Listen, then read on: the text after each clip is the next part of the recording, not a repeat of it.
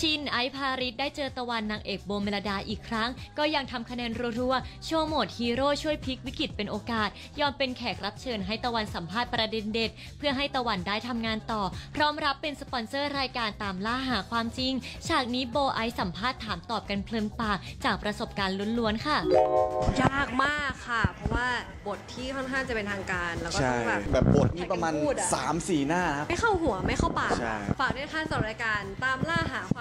ด้านมานะพระเอกเจมส์จิรายุใจเด็ดรับข้อเสนอนารินพี่นัทมีเรีย ยอมเป็นทาสระบายอารมณ์ ก่อนใช้ความอบอุ่นปลุกใจให้นาริน กล้าเผชิญกับปัญหาครอบครัว แต่ก่อนจะได้เปิดโหมดแสงสว่างต้องรับแรงประทะจากพี่นัทที่ทำถึงขั้นสุด เบื้องหลังพี่นัทรัวคำขอโทษขออนุญาตหลายรอบ เจมส์ก็อ่อนโยนใส่ ก่อนจับมือช่วยกันผ่านซีนนี้ในโลกหมุนรอบเธอค่ะ มาขอความช่วยเหลือเขาแบบใช่ครับน่ารักน่ารักค่ะ สนุกดีเหมือนกันนะเขาสนุกเขาดีโดนครับ ไปหลายดอกเหมือนกันนะมันก็มาดูว่าเราใช้วิธีการที่ค่อนข้างพิสดารนิดหน่อย แต่มาดูผลลัพธ์ครับว่าเป็นยังไง